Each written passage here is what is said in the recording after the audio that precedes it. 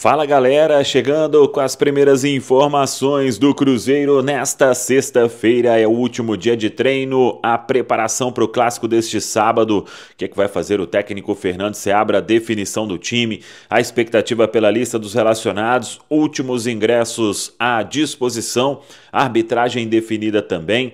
Tudo isso você confere a partir de agora na Samuca TV.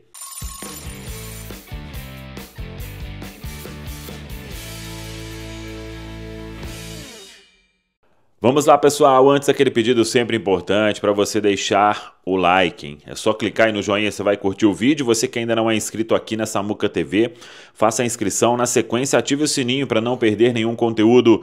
Vamos juntos com as primeiras do dia, sempre com oferecimento de KTO.com. Na hora de apostar, de se divertir, de palpitar, KTO.com. Utilize o meu cupom Samuel, você terá 20% de bônus no valor do primeiro depósito, KTO.com, onde a diversão acontece para maiores de 18 anos. Jogue com responsabilidade. Vamos lá, porque a sexta-feira é de último treinamento do Cruzeiro para o duelo diante da equipe do Atlético Mineiro, o clássico deste sábado, nove e meia da noite, no Mineirão.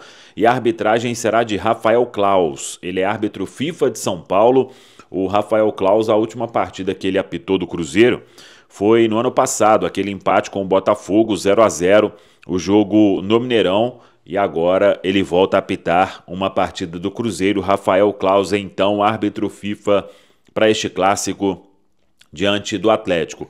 O Cruzeiro que fecha a preparação com treinamento nesta sexta-feira e aí vamos aguardar o que, que vai fazer o técnico Fernando Seabra, porque ele tem que fazer alteração na zaga, não sei se faz mais alguma mudança e, claro, precisa definir também a lista dos relacionados e a expectativa é por novidades. Talvez aí a principal novidade seja a presença de Rafa Silva, que está recuperado de uma lesão muscular que ele sofreu no duelo diante da equipe do Vasco. Últimos ingressos à disposição nesta sexta-feira, o Cruzeiro já tinha informado mais de 55 mil torcedores garantidos, tem a carga de gratuidade nesta sexta-feira e se pintar mais alguma coisa, terá uma nova varredura para o sistema ingresso.cruzeiro.com.br. O que não tem mais é ingresso para a bomboneira. Até surgiu na noite de ontem